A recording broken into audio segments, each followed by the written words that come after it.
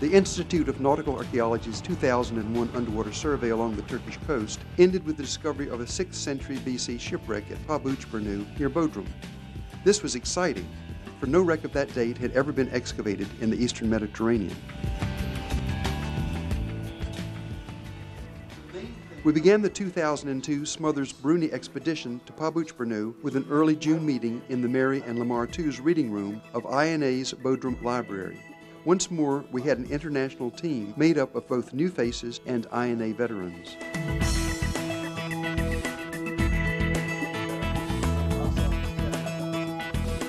Because the site was so close to Bodrum, we decided to commute daily. What's the status of the catamaran now? Today they're going to put the port side alternator back together. We weighed anchor each morning after the 15 to 20 minute drive to the Içmeler shipyard on the outskirts of Bodrum.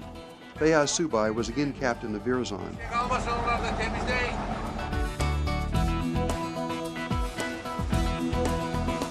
And Murat Tilev was once more skipper of our catamaran Millawanda, the support vessel for our submersible Carolyn. We could have driven farther out of Bodrum and boarded our vessels closer to the excavation site, but the 45 minute sail each morning and evening gave additional time on board to keep up with the daily log and other records, to prepare the recompression chamber for any emergency, and to tend to other important matters.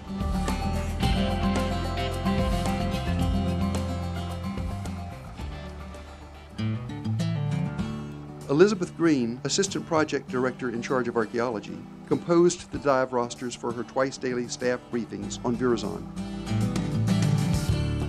A buoy marked the heavy anchors that allowed us to moor directly above the shipwreck, just off our night watchman's guardhouse.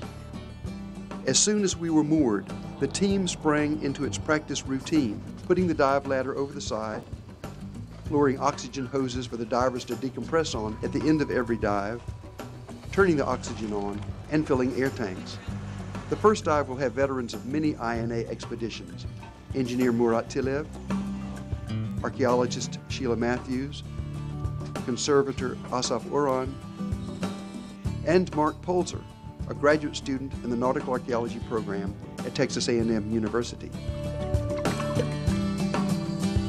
The team will spend 20 minutes at a depth of 130 to 140 feet their dive carefully controlled by a timekeeper on Virazon who will send over 2,000 dives down and signal them when to come up.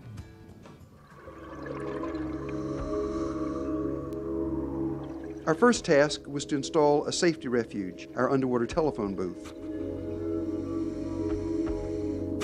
Lifting balloons eased the task of moving the heavy iron plates that hold the booth down when it is filled with air we situated the booth next to the wreck site so that in case of any equipment failure, fresh air was close at hand rather than being more than 100 feet straight up. We then gridded the site with string and put specially designed targets on amphora mouths to aid the digital mapping by photography.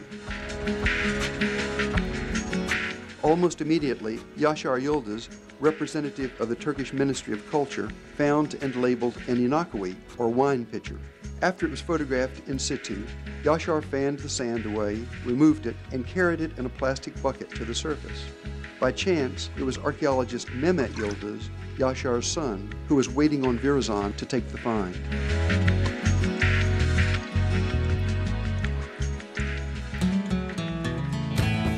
The excavation campaign, which lasted nearly five months, was tiring. We did not have enough bunks on Virazon to allow everyone to have a comfortable afternoon siesta, as in past excavation camps. But as usual, we ate well. Water soaks the heat out of your body far faster than air, so divers need plenty of calories, and we got them.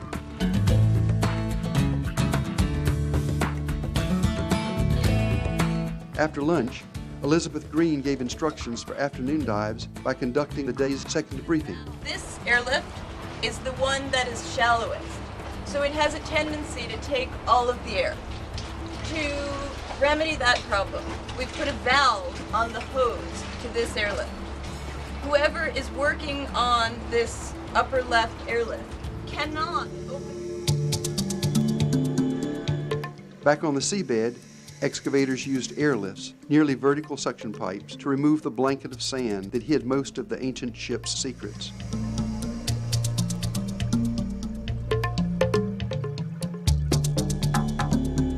Other excavators brought baskets down to retrieve newly exposed cargo.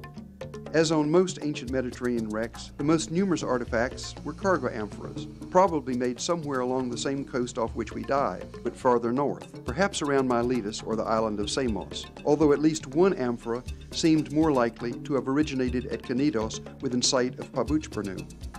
We sealed their mouths before raising them to save any valuable organic remains that might be inside.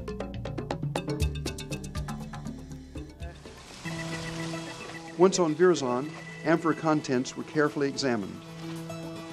In one instance, conservator Asaf Uran assisted in the birth of an olpe, another kind of wine pitcher that had found its way into the amphora. Like a baby. One more push. One more push.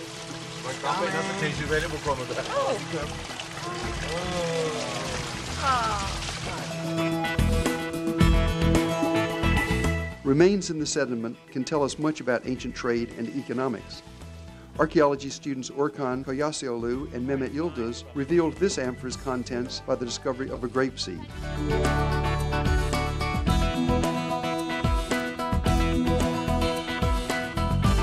A lot of the work of sieving, downloading digital photographs into computers, developing plans, keeping the daily journal, and cataloging artifacts took place on the 45 minute homeward sail to Içmeler every evening.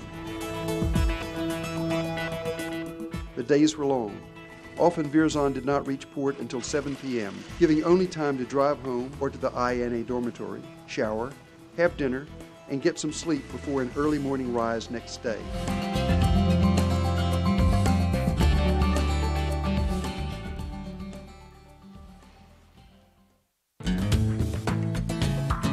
On the one non-diving day each week, our archaeology students, guided by Faith Hentschel, stayed busy in INA's Nixon Griffis Conservation Laboratory.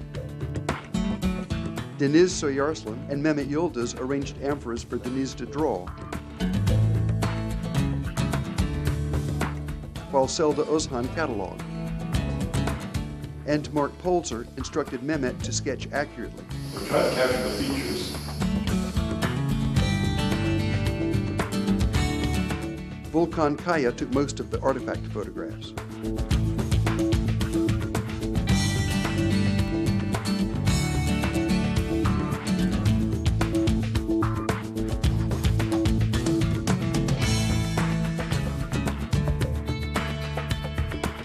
Millawanda did not come out from Içmeler with their submersible Carolyn every day.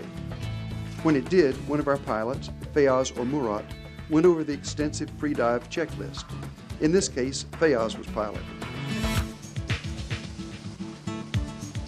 He could take me, or any one of the team archaeologists, to the wreck so that we could observe the excavation in progress for hours at a time instead of only 20 minutes. And we stayed dry, clear-headed, and comfortable for that time.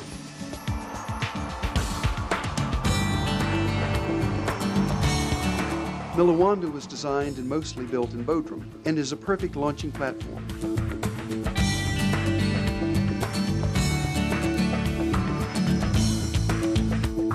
Once we were underwater, INA Director Claude Duthuit kept in touch by means of our wireless communication system.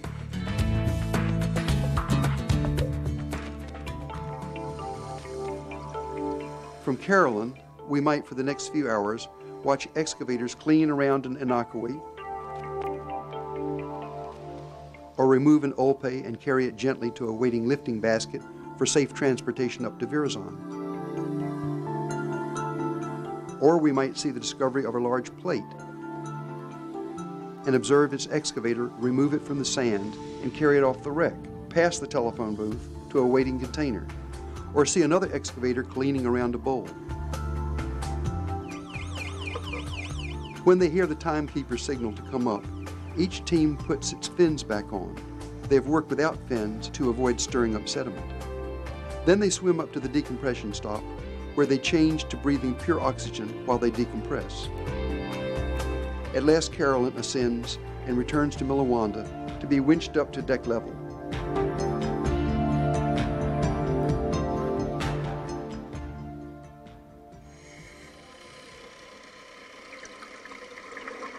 It was an especially exciting day when we raised the ship's stone anchor stock.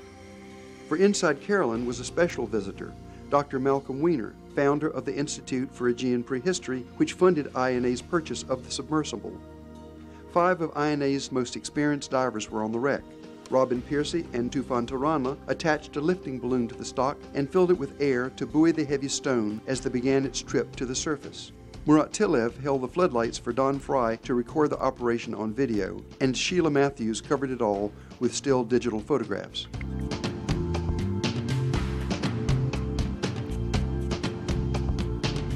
When the stock broke the surface, archaeology student Orkan Koyaseolu detached the balloon from the stone so that the stock could be winched onto Virazon's deck, where it was examined by Feyyaz Subay, already up and out of Carolyn. Later in the day, after our little fleet sailed back to port, Tufan, Turanlı, and others had the hardest job. Without a lifting balloon, they had to carry the stock ashore and load it into the bed of a pickup truck to be taken to our laboratory.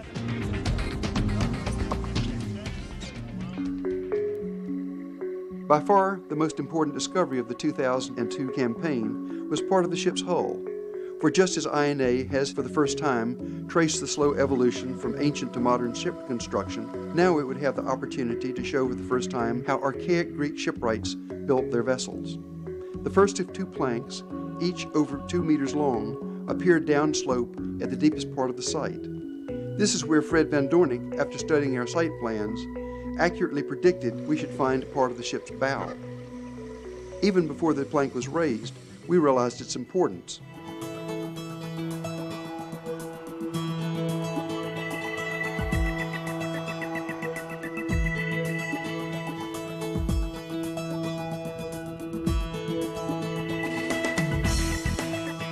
Plank was not held to its neighboring plank by mortise and tenon joints, as on the Uluburun shipwreck of around 1300 BC and on the Kyrenia shipwreck of around 300 BC. Instead, the planks were laced together, the bindings running through triangular holes and pegged tight.